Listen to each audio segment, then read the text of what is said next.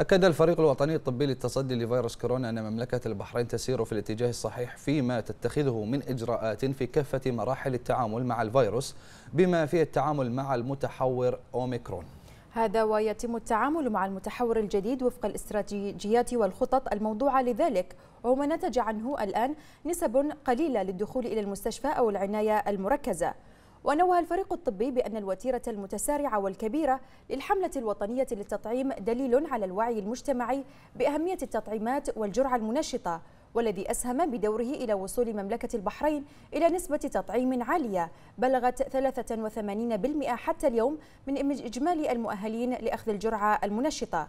كما أشار الفريق الوطني إلى أهمية الالتزام التام بالإجراءات الاحترازية والتدابير الوقائية ومواصلة أخذ التطعيمات والجرعات المنشطة حفاظا على صحة وسلامة الجميع.